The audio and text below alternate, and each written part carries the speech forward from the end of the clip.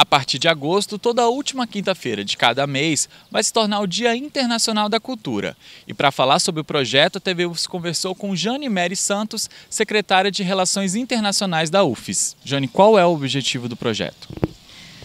O objetivo do Dia Internacional da Cultura é integrar os estudantes estrangeiros, os estudantes brasileiros que participaram de intercâmbio no interior, através dos, dos programas Ciências Sem Fronteiras ou outros programas de intercâmbio que nós temos, além dos professores estrangeiros, que são professores do nosso quadro permanente na UFES, e professores visitantes estrangeiros que vêm para trabalhar nos nossos laboratórios de pesquisa, para intercâmbio, para trocar experiência com os pesquisadores da UFES. É, dentro do projeto, quais atividades estão previstas?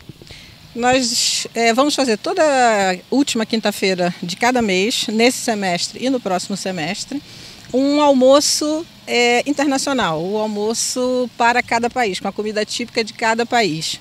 E esses países são os países com os quais a gente tem relações, tanto é, recebimento de alunos estrangeiros, quanto no envio dos nossos alunos brasileiros ou de pesquisadores.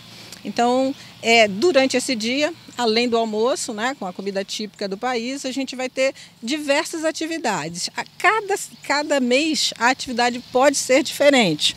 Nós vamos começar, por exemplo, com o país Cabo Verde porque esse ano é a comemoração dos 40 anos da independência de Cabo Verde. E nós temos professores do nosso quadro permanente que são de Cabo Verde, assim como alunos. Então, nesse dia, por exemplo, nós vamos ter é, discussões sobre a cultura cabo-verdiana, além do, do, do, almoço, como nós falamos, nós vamos ter, vamos ter o embaixador de Cabo Verde que vai vir aqui conversar e discutir e apresentar a cultura é, do país.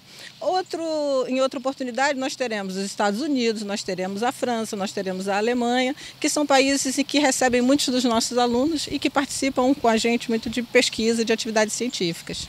Você disse, citou alguns países, é, ao todo serão quantos e até está é, tá previsto até que data essas atividades? Então, neste semestre, são quatro meses é, desse semestre, mais quatro meses no próximo semestre, em 2016. Essa é a programação que já está é, organizada. O projeto Dia Internacional da Cultura é realizado pela Superintendência de Cultura e Comunicação da UFES e a Secretaria de Relações Internacionais. Rodrigo Schroeder para a TV UFES. O UFES na TV fica por aqui. Para sugerir pautas e saber mais sobre a TV UFES, acesse nossas redes sociais. Até a próxima!